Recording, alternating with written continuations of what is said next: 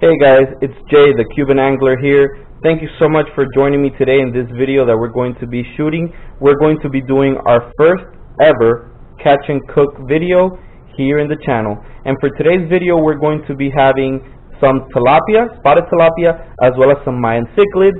Uh, and um, we're going to pan fry them and eat them up with a little bit of uh, homemade tartar sauce. So stay tuned. We're going to have some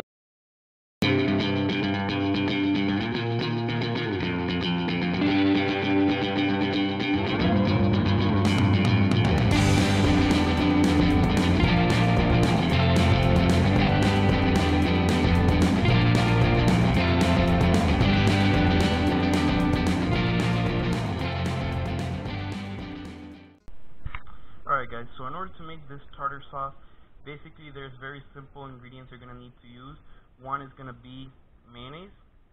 So just pick your favorite style of mayo. You could also use Miracle Whip.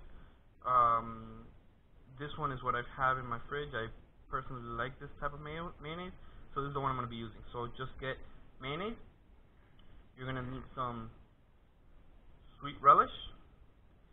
Also you're going to need some black pepper some salt, onion powder, mustard, and half a lemon. Okay, so this is what you're going to need. Now keep in mind the measurements I'm going to be using are personally for my taste. So this could change as you, you know, for your taste, make sure you do it to your liking, but these are basically the ingredients that I'm going to be using. So the first thing I'm going to do is that I'm going to get this half a lemon, I'm going to squeeze the juice out of it.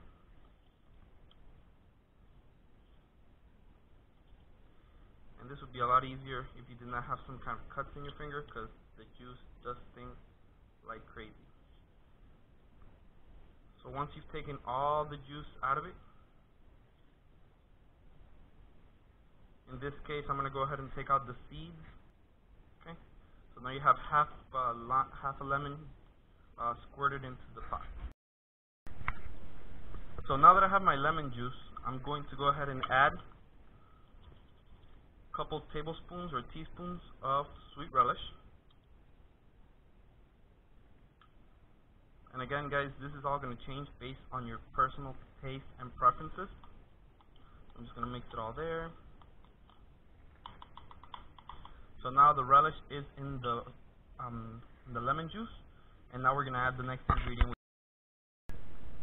So now we're going to go ahead and add about eh, three quarters of a cup to one cup of mayonnaise. So let's start adding that in there.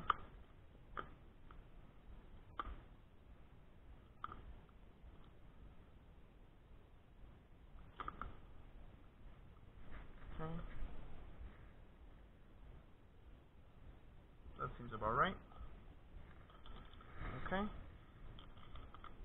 and to the mayo just add a little bit of the mustard.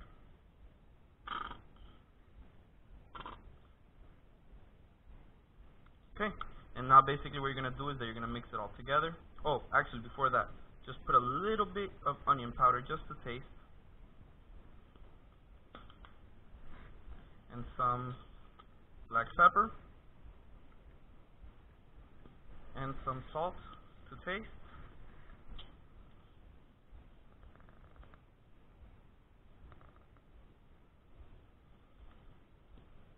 This is all by sight, guys. Alright, so now just uh, mix it all up.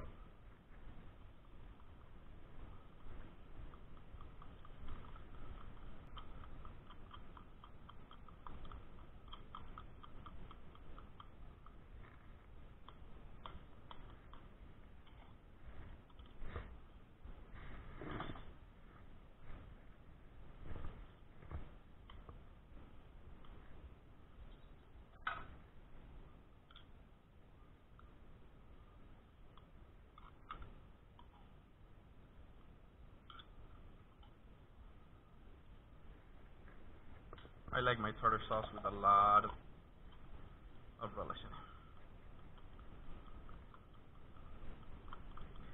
Alright, so once you're done uh, stirring it all together, just put it in the fridge for about an hour. Like that, it'll really have a chance to uh, thicken up. So, that's what we're going to do. We're going to put it in the fridge for about an hour, let it thicken up, and by the time that we have our fish filleted and ready to fry and all that good stuff, the tartar sauce will be nice and ready. Okay, so now I'm going to start preparing the egg wash that I'm going to be using to make sure that the breadcrumbs stick to the fish.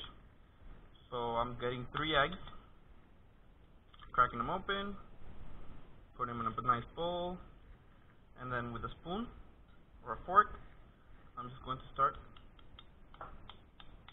beating them together.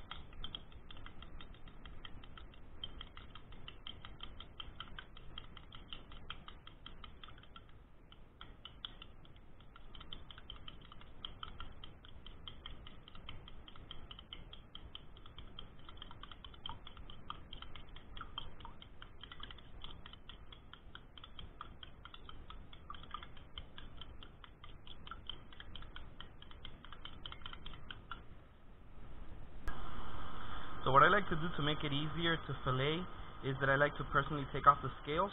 So I'm going to descale it. Once I descale it, then I'll go ahead and uh, use the, um, then I'll go ahead and cut out the fillet.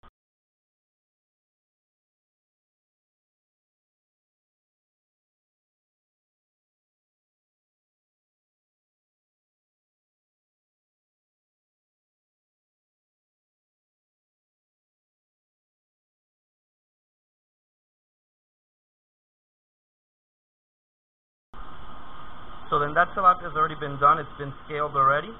So now I'm going to take out and do a Mayan cichlid. So the Mayan cichlid is the other one that we're going to do in this catch and cook. Now with the Mayan cichlid, the scales are definitely thinner, so they're going to be easier to uh, to remove. You shouldn't have as hard time as with the um, tilapia. The tilapia scales are very, very thick, as you can tell, as opposed to the Mayan cichlids, they're very small.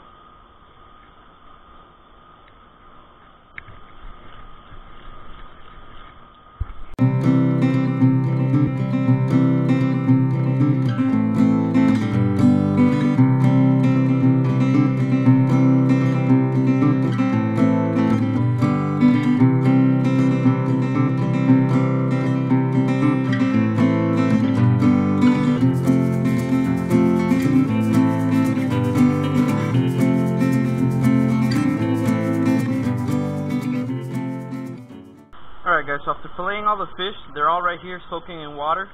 And now I'm going to go ahead and get them ready for the frying pan. So what I'm going to do is that I'm going to get a fillet, dunk it in the egg in the egg wash, make sure it's very well covered with the breadcrumbs, and then separate it to the side when it's ready to go. So let's go ahead and do that. So like I said, now we're going to make sure it's wash washes in the egg wash. And then we're going to go ahead and uh, cover it with breadcrumbs.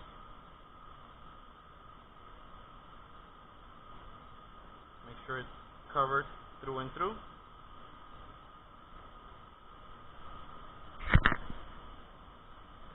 Shake off any excess. Put it on the side. Let's go again. Same process. Egg wash.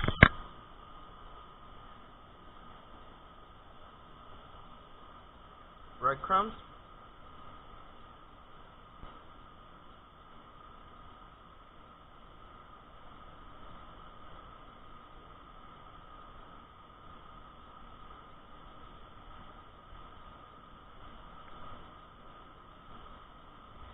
And rinse repeat.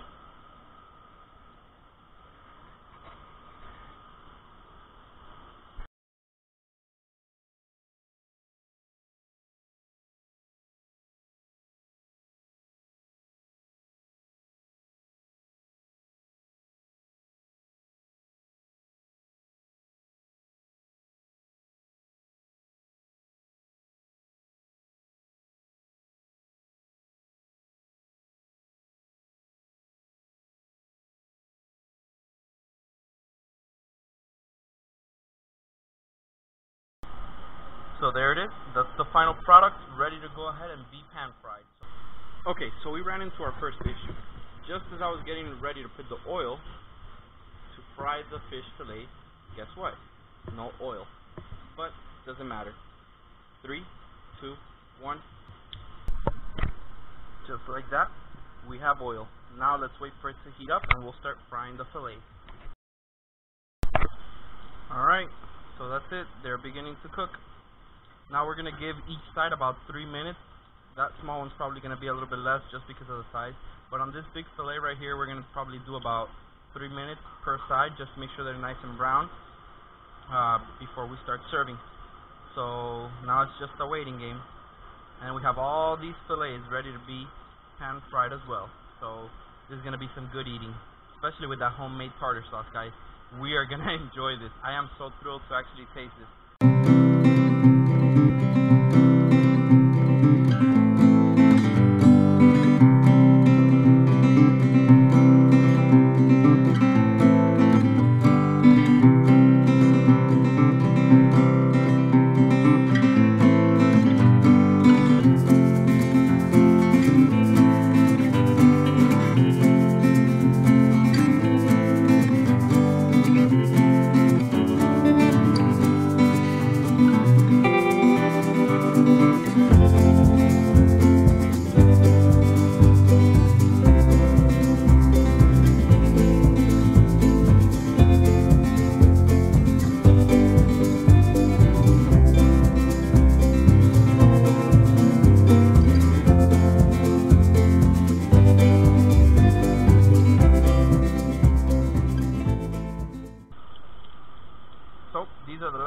fillets.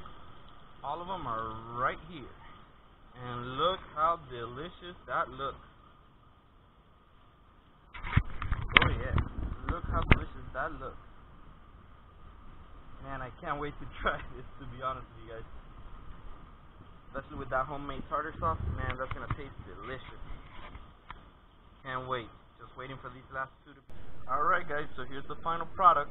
I have two strips right here of the fish, ready to go, ready to eat. I garnished it with two pieces of lemon, of lime, and then I put some tartar sauce right on the side to give it some extra zing. So, like I said, this is a very simple recipe. You could do this with any fish. Uh, the tartar sauce takes about 10 minutes to make, if that. And then all you need to do is make sure it cools in the fridge for about an hour to give it that creamy texture.